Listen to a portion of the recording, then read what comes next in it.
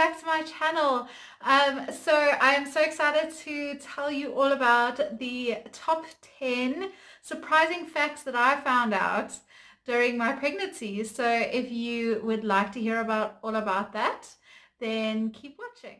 Okay, so let's get straight into it. Um, so the first surprising thing was that you can get carpal tunnel as a result of pregnancy hence my cast on my right arm at the moment and my right is my dominant hand and it's not very nice to not have the use of your dominant hand at the moment so I had carpal tunnel quite um, bad in my right hand due to the pregnancy. I actually have it in both hands, but at this point in time, I've made a decision just to do um, the right hand just because it's much worse in the right hand. He said the nerve was very compressed. So carpal tunnel is um, like a compression of the median nerve and uh, it causes your thumb, your index finger and your middle finger to be constantly numb and also it hurts as well quite it's quite painful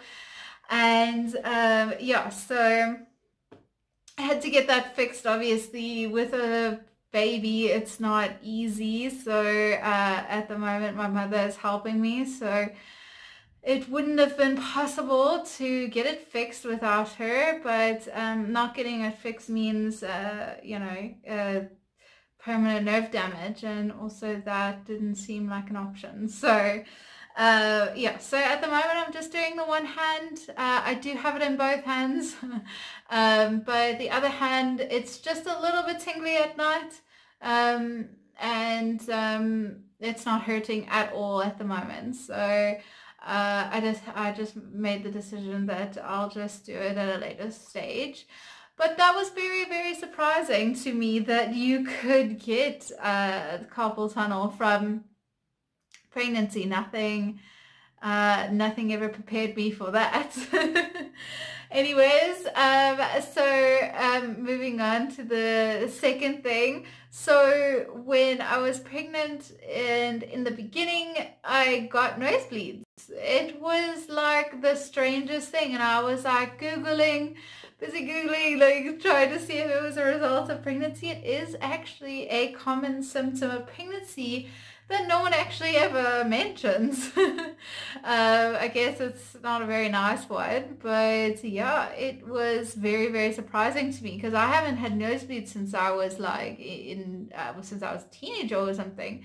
I damaged um, one of the vessels in my nose uh, in a scuba diving scuba diving um, trip and it bled for several months um, on and off but ever since then I haven't had a nosebleed and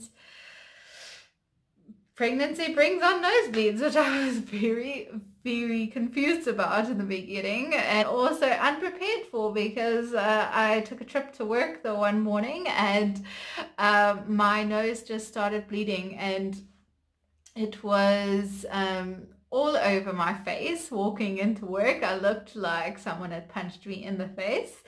And uh, yeah, I was like trying to like hold my mouth. So yeah, so put tissues in your handbag. It might, you, it might come in handy one day if you don't already. Um, I'm one of those unprepared people. So um, I didn't have tissues in my handbag.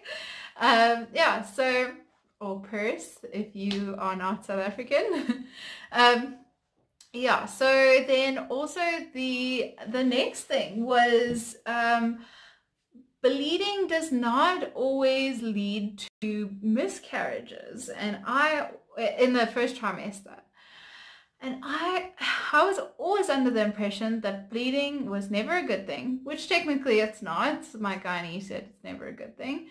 However, it does not always lead to miscarriages. I bled on and off in my first trimester for like, there was definitely like three different um, occurrences. However, it wasn't, it, it, it didn't come with pain and it didn't come with, um, um, like it wasn't a lot. I didn't, I never had to put on a pad or anything like that. So, um, like it wasn't, it wasn't a lot. So, but I never knew that you could actually that that you could actually like bleed and and and it not lead to the loss of of the fetus. So that was interesting to me. Um, yeah, and then the fourth thing was I had like a lot of pain in my back, but like like like by my kidney kind of pain. And then also just, just below my um, rib on the right hand side. So she was carrying quite high. So at first I thought maybe it's just like her, um, like just pressing her my uterus or something on my rib and it actually ended up being that my kidney was so because obviously the baby is sitting in your uh, abdomen, then she squashes a bunch of your um, organs and a kidney is actually one of them and it can result in pain that defers to the front, um, which was really strange to me. Um, um, also, like obviously there was back pain, but and then I just thought that was normal but but it was actually my kidney but it, it could have don't don't think that it's always your kidney because that place where the pain was was actually near your gallbladder. So do check that out if you um yeah never never take my my health advice okay? I just i'm just telling you about the surprising things that happened to me during pregnancy. So um always uh, consult a doctor about uh, what is going on with you. Okay so um the fifth thing was um that we learned something we learned in our uh, prenatal classes. Uh, so those were really good to take, just by the way. Um, prenatal classes is that babies can actually hear us basically like we can hear. Um, so there's just like a little bit of a, a noise blockage, but um, it's not like hearing underwater and I thought it was always like hearing underwater because obviously they're suspended in uh, the amniotic fluid and I just I just assumed that it sounded like um, that it sounded exactly like we hear underwater and it's not. It's actually because we have we're exposed to air obviously. So when we go underwater the air gets trapped between the water and the eardrum. So with them, they've obviously never been exposed to air, so the water goes all the way straight through to their eardrum, and that uh, causes them to be able to hear basically as well as we can outside the body. So um, that was really interesting to to hear. Um, they did an experiment and they showed us how well that that it could be heard, and it was really a lot better than I thought it, it could have been. Um, yeah, so then the sixth thing was that uh, babies get hiccups in the womb. I did not know that. um, that was interesting. I even, I was speaking to my brother the one day and he was like, I didn't know that. That, that That's crazy. um, yeah, so, um, and it's sort of like, like when they are, um, and, and I googled it and I was like, I don't know if my baby's having hiccups in the womb, like what does it feel like? Um, and then I, you know, when you feel it, you feel it. It's, it's like, it's a rhythmic, like, you know, when you, you have hiccups, you like, it's like a rhythmic thing. So you'll see like your belly like going like that. Um, and that, I just thought that was crazy because I was like, what is happening? Is she having a seizure or like... what is happening? This is crazy. Is my uterus like freaking out? Like is the muscle freaking out? I don't know what's going on. And uh, it ended up being her having hiccups in the womb. Crazy. Yeah. The seventh thing was that um, they could see the gender at like 12 weeks. I think it was my 12 or 13th week scan and they determined the gender already and that was amazing to me. I was so unprepared for it. Shame poor Rob was not there and uh, my mother came along with me because Rob works away. Um, he's a game ranger so he works two weeks away and then comes back for a whole week.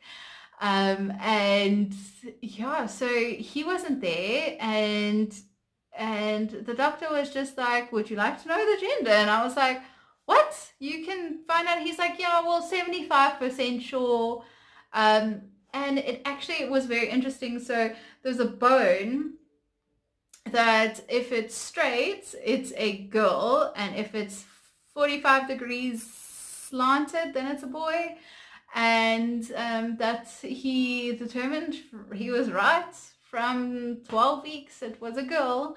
And uh, so I thought that was very very very interesting. So um, yeah. Okay so the eighth thing that was surprising to me was that morning sickness doesn't happen to everybody. And if it doesn't happen to you it's most likely genetic. So it was interesting because like I got like I think it was like four weeks in a couple of days or something like that when I was pregnant I got a tiny wave of nausea, like for two days, two or three days, I think it was. Tiny, tiny waves of it, and then never again. I am so lucky. I am so sorry if you were had horrible, horrible nausea. I completely understand how terrible that would be. I do not like throwing up. I will avoid it at any cost. I would rather feel nauseous than throw up. So if you had morning sickness, I'm so sorry, but I, my experience was that I had none, which uh, was not what I was expecting actually. Um, I was expecting to be very sick and uh, I thought it was very interesting that some people don't get it and and uh, some and then also I know of some of my friends that actually got um, sick but not um, not actually through uh, throwing up sick. So they just felt nauseous um, which was very interesting to me as well. So um, yeah I didn't know that. I thought you always like you got sick you threw up and that's it that's and uh, I knew that it didn't always happen at uh, you know mornings um, like morning sickness which I don't know who named that one but um, yeah, but I just, I had no idea. And then um, the ninth thing was that um, that you actually can't do anything about stretch marks. I I assumed that I was going to put on some tissue oil and it was going to prevent stretch marks and apparently it's a genetic thing actually. Again thanks genetics. Um, yeah so apparently it's a genetic thing where you can't um, you can't avoid it. It's like it's it's not gonna hurt to put on the tissue oil and it's gonna be it might like I don't know, make it better a little bit. But apparently, like, if you're going to get it, you're going to get it. It's like, there's literally nothing you can do about it. So, um, which I found very surprising. Last thing which uh, surprised me a lot because I had heard people telling me how hard their babies kicked them was that Scarlett never actually kicked me so hard that I got a fright or like or was like ow kind of thing. Um so guess not all babies kick that hard. Um I was I was actually worried. I was that was one of the things that worried, okay, multiple things worried me during the pregnancy. I'm a worrier in general. um, yeah, so um, one of the random things that, that worried me was that she wasn't kicking very hard. And she was she had lots of movement but she just was quite soft. And like you know like when they tell you that they're gonna kick you in the ribs wait until the 38th week or 36 weeks and they're jabbing you in the freaking ribs. And I'm like okay where, where's the jab in the ribs? um, and I would get like a foot that would slowly press on my rib a little, little, little bit. Um, and that's it. That is it. Like I was very, very shocked at that. Um, and those are my weird and wonderful uh, pregnancy facts. that uh, from my experience, obviously, uh, I don't know how everybody else had the experience. Please tell me in the comments below if you had any of these uh, experiences. I would love to um, chat to you about it and, and know if everybody else is like me or if I'm just the odd one out. um, anyways, uh, please do comment below. Please do subscribe if you are interested in coming on the journey with me. I can't wait. I'm so excited for it and uh, I will see you guys next video. Can't wait. Cheers guys.